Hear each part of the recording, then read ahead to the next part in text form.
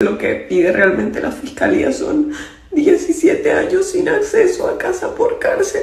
Así, entre lágrimas, Aida Victoria Merlano reveló que fue condenada culpable por el juzgado 20 de conocimiento de Bogotá de haber ayudado a su mamá, la ex senadora Aida Merlano, a escapar de las autoridades en el 2019, cuando asistía a una supuesta consulta odontológica.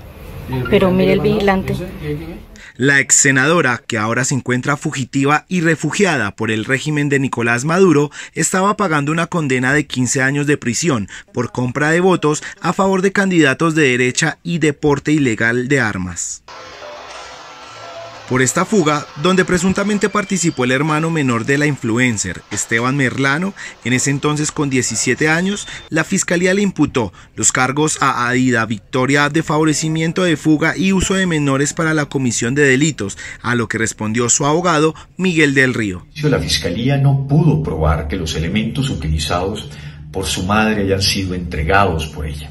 Apelaremos la decisión con toda la determinación para establecer precisamente la ausencia de responsabilidad penal.